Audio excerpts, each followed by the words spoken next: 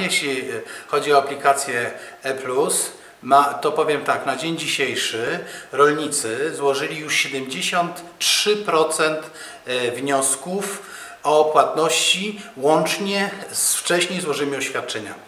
To jest po pierwsze, więc dziękuję rolników za mądrość i zrozumienie i tą efektywność, ale też agencji i ośrodkom doradztwa. To jest pierwsze, niedyskutowalne. Po raz pierwszy mamy historyczną ilość, jak w poprzednich latach, czy jeszcze przed przyjściem do ministerstwa, tysiąc wniosków było w formie elektronicznej. W tej chwili mamy milion wniosków złożonych w formule elektronicznej.